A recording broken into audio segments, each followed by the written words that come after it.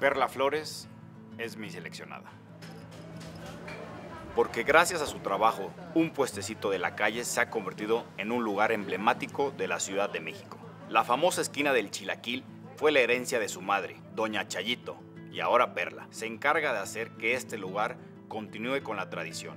Bien me lo decía mi mamá, que si fue, era una tortera la mejor. Se comen una torta y regresan y hacen la fila de una, dos horas. O sea, y ese es como que mi motivo, mi motivación de, de seguir haciéndolo ricos y con la misma calidad y con el mismo amor de, de lo que ella me enseñó.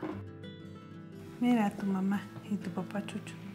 Y mi mamá le dice, usted pruébele, si no le gusta, estábamos tan seguros de nuestro producto que decíamos, si no le gusta, no nos las paga. Y es su lucha constante la que nos inspira por su trabajo y valentía de despertarse todas las mañanas y salir a darlo todo. Yo desde los nueve años este, ando trabajando desde chiquita. Que, ay, otra vez tener que levantarte temprano, ¿no? Y hacer, este, pues, en vez de dormir, pues, este, fregarle, ¿no? Porque Perla es un gran ejemplo de que los mexicanos podemos conseguirlo todo.